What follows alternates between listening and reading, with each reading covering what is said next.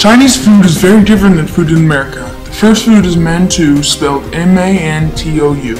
Mantou in China is like steamed bread here in America. It can be found everywhere in China. There are so many kinds of mantou, it is crazy. For black bean flour mantou, the ingredients are 800 grams of wheat flour, 80 grams of black bean flour, and 3 grams of yeast.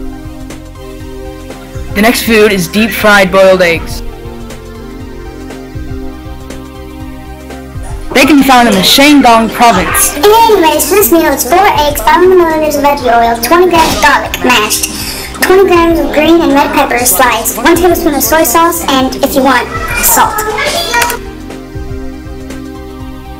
The next food is crispy donkey meat and chili sauce. I know, right? It sounds gross, but it really looks good. See the picture. Oh, wrong picture. There. There we go. Ah, that's the donkey meat. That last one looked like Mr. Creighton food version. Anyways, donkey meat has 400 grams of marinated donkey meat, 150 grams of cooked peanuts, 30 grams of parsley, 2 tablespoons of soy sauce, 1 tablespoon of oyster sauce, 1 tablespoon of chili sauce, 1 tablespoon of vinegar, and a tablespoon of sesame oil.